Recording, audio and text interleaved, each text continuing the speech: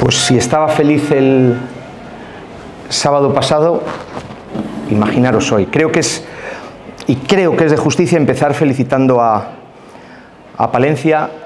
Su excelentísima primera parte de la liga ha sido brutal. Ganar al líder, a un líder que ganó con solvencia en estudiantes, que ha ganado con solvencia a todos los equipos grandes de la liga, es muy difícil y lo hemos hecho. Felicitar al público, empezando por el de Palencia, porque han animado muy bien a su equipo. Creo que salvo contadas excepciones no hay que hablar de ningún altercado. Creo que se ha vivido una fiesta de baloncesto francamente buena y es motivo de alegría también esa bueno, fiesta que se ha vivido en las gradas y en la pista. Felicitar a mi equipo porque han tenido mucha fe. Nosotros hablamos mucho siempre, el partido no se gana en el minuto uno, hay que ganarlo en el minuto 40. Y eh, nosotros llegamos muy enteros eh, a los finales de partido.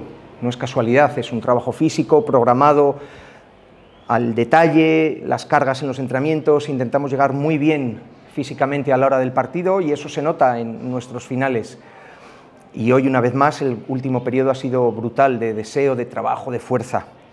Ha sido muy difícil competir un partido en el que ha habido tanto rebote ofensivo por parte de los dos equipos, 18 de, de Palencia, eh, 16 nuestros, muchísimo rebote, pero hemos hecho tantas cosas bien que ni siquiera nuestros malos porcentajes de la primera parte nos han sacado de partido, al revés, eh, nos ha incentivado a mejorar, a mejorar, a ir abriendo la pista cada vez más, cada vez según avanzado el partido, abrir más el campo y encontrar los espacios que necesitábamos.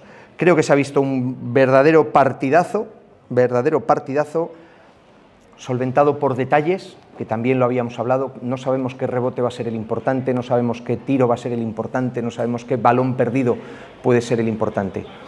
Ha sido fantástico. Creo que la fiesta que se ha vivido hoy en Pisuerga, colgando el cartel de no hay entradas, mirar para arriba y ver cómo estaban las gradas, esas gradas que antes ni se abrían y que ahora mismo pues están ahí, me parece que ha sido muy muy bonito, me siento muy partícipe de ello como vallisoletano y como entrenador del equipo me siento muy, muy partícipe de haber conseguido llenar Pisuerga. Muchos me llamabais osado, deja de insistir, qué pesado eres, no merece la pena. Hasta en mi propio entorno, ¿eh? Me lo decían, Paco, no te quemes, que no. Pues sí, Paco se quema. Luego la hostia es más grande, ¿no? Cuando llega el final de un ciclo y, y te vas para tu casa, cuando te implicas tanto es luego muy difícil, ¿no? Pero lo hemos conseguido. Me dicen desde el club que se ha ampliado una semana más la campaña para la segunda vuelta. Hay partido el domingo que viene contra Juaristi. Jugamos el miércoles en Burgos, pero durante esta semana aquel que se quiera sacar el abono para la segunda vuelta tiene que venir Andorra, tiene que venir Estudiantes, tiene que venir muchos buenos equipos y luego estarán los playoffs y caray, hoy hemos demostrado que la afición del baloncesto de Liz está ahí, está ahí el equipo se ha volcado para darle al público, se lo he dicho al principio del partido, mirar al vuestro alrededor lo que tenemos, ahora tenemos que devolvérselo nosotros a ellos. Y creo que el equipo ha cumplido. Preguntas. A nivel baloncesto, ¿qué ha pasado para ganar un partido que a 4 minutos 3 estaba muy perdido? Pues mira, en valoración hemos ganado por 23 puntos, 87 a 64. A pesar de que nos han hecho mucho daño en el rebote ofensivo, hemos ganado el partido en rebotes. Y luego los pequeñitos detalles. Hemos ganado los tres porcentajes. Algo en lo que Palencia era superior a nosotros. En los globales de media de los 17 partidos anteriores eran mejores que nosotros en tiros de dos, mejores que nosotros en tiros de tres, mejores que nosotros en tiros libres. En los tres apartados hemos sido mejores que ellos. Solo se nos ha ido esas pérdidas de balón, tres más que ellos. Pero creo que esos porcentajes, el haber ganado el partido en, en rebote es lo que nos ha hecho ganar. Y luego, la fe mueve montañas. Nosotros sabemos que llegamos muy enteros al a los finales de partido. Hay que ganar no a falta de cuatro, hay que ganar en el pitido finales cuando hay que ganarlo. Y el equipo se ha desfondado. Yo creo que además los cambios que hemos ido metiendo, joder, todos han ido aportando. De repente Kuiper llevaba un tiempo sentado y ha metido el triple. Mike ha salido por la lesión de Cabasele, que ya no ha podido volver a la pista, y ha metido los dos tiros libres. Eh, el, último, el último cuarto de Kovacevic ha sido espectacular. Eh, bueno, eh, Melvin Pansar, que ha estado gris, lo habíamos hablado esta semana, después de un gran partido, de un brutal partido como fue el sábado pasado, lo normal es que venga una, bueno, una bajada, es imposible jugar al nivel del otro día, pero sin embargo en el último cuarto también se ha puesto el equipo en la mochila y ha dicho, venga, yo tiro del equipo. Entonces, bueno, creo que es un mérito tremendo de todos los que han salido a jugar, de todos los que han aportado, felicitar a toda la organización del club, seguimos siendo muy modestos, pero cada día, ¿qué ha pasado para poder ganar?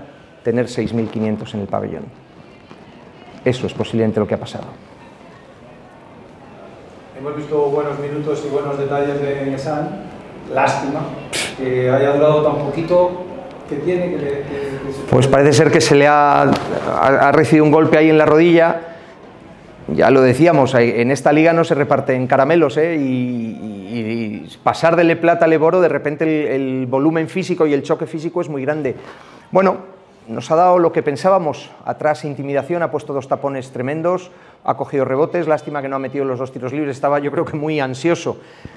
Posiblemente tengo un esguincito en el esguince lateral de la rodilla, hablo evidentemente desde lo que me han comentado así por encima, bueno, vamos a ver si en unos días lo podemos recuperar, porque si hablo bien de mi preparador físico viendo cómo está el equipo, no puedo por menos que hablar bien de mi médico y de mi fisioterapeuta, porque el trabajo que se ha hecho en esta última semana, habiendo marcado una hoja de ruta muy estricta, desde el área técnica, con Pepe y conmigo, hasta el área médica, se ha llevado francamente bien, incluso algún enfado de Kevin que quería entrenar más y hoy quería jugar más. No, no, calma, calma, calma calma, vamos a llevarlo todo bien para que hoy nos puedas ayudar como nos ha ayudado.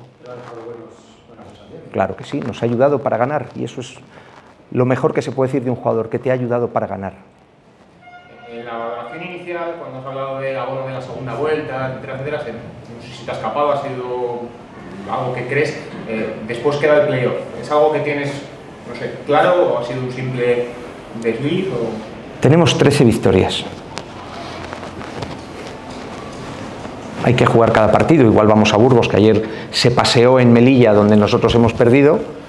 Burgos nos saca del campo y Juaristi, que todos nos, bueno, bueno, el colista, que ayer Palma en el último tiro, que le tiene para empatar el partido, que pierde con Palencia en el último segundo, o sea, que ojito con Juaristi el domingo que viene.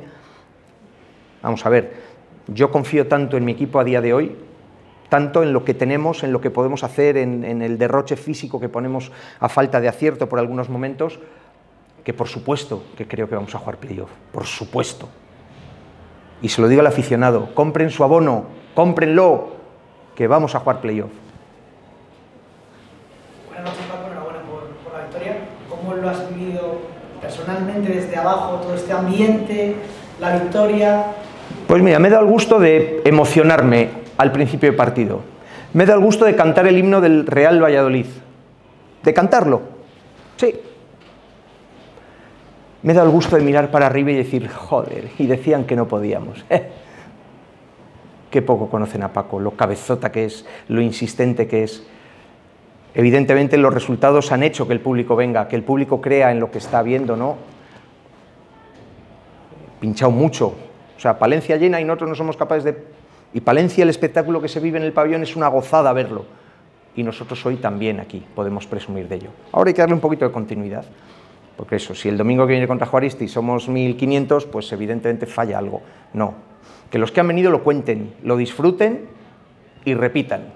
Eso es lo que pedimos. Para Baloncesto Prisma, enhorabuena por la victoria. ¿Cómo se encuentra tras el partido por la lesión Allen? Y hasta que llegó Lucas, ¿habéis tenido que tirar de algún canterano para el interior en los entrenamientos? Pues mira, con respecto a los canteranos, ha sido una semana muy complicada porque es semana de exámenes a nivel universitario y nosotros damos prioridad a los estudios por delante del baloncesto. Prefiero aguantarme yo que forzar a un chico a que deje de ir a un examen o deje de estudiar. Entonces, Pablo Martín, que es el jugador que habitualmente está con nosotros, esta semana ha tenido, creo que eran tres, tres o cuatro exámenes, cuatro exámenes, con lo cual le hemos dado prioridad. No aparezcas por aquí, céntrate en aprobarlo y cuando acabes la carrera nos sentamos para que puedas venir más. Hemos escapado como hemos podido, insisto, calibrando mucho las cargas de trabajo. Ha habido tres días que hemos estado entrando con 10 jugadores. Si se paraba uno, no podíamos hacer 5 para 5, teníamos que trabajar en detalles y en bloques de 3-3 y 4-4. Hasta que ha llegado Enguesan y desde el miércoles que hemos ido probando cada día un poquito más, el miércoles entrenó 20 minutos Allen, el jueves entrenó casi 40 y ayer viernes completó el entrenamiento que era la prueba que nosotros necesitábamos para saber si hoy le podíamos sacar a jugar. Si no hubiera entrenado, yo las altas de los viernes no me las creo. Si un tío no entrena nada y el viernes me dice, eh, yo ya estoy para jugar, pues nada, campeón, el lunes estarás mejor y para la semana que viene. Entonces salen, eh, evidentemente, el tratamiento que le han hecho los médicos, le han sacado líquido, le han metido, le han infiltrado, todas esas cosas que ellos podrían mejor hablar que yo, eh, han hecho que hoy llegue al partido. Felicidades, me alegro por Kevin, que hoy, después de dos partidos fuera, haya vuelto y haya ayudado al equipo a ganar, y por supuesto por todo lo que rodea cuando un jugador cae lesionado es un drama para todos, primero para el jugador, pero también para el propio grupo, que se tiene que amoldar a, entrenar sin descansos, a, que la tralla es más dura, a que nos tenemos que amoldar todos. Entonces, vamos a ver ahora si, lo de Lucas no es excesivamente grave y bueno, pues si en unos días de parada puede volver al equipo, pues felices todos.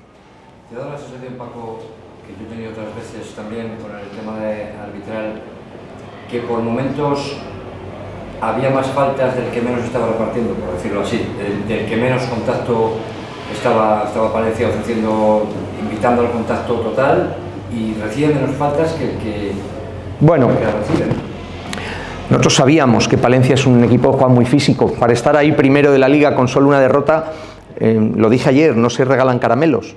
Palencia eleva el, listón físico muy alto, el listón defensivo muy alto y el nivel de ataque también muy alto a nivel físico. Y nosotros teníamos que igualar eso si queríamos ganar. Después, yo creo que es un partido difícil de pitar, con un ambiente tal, los entrenadores apretamos, los jugadores aprietan.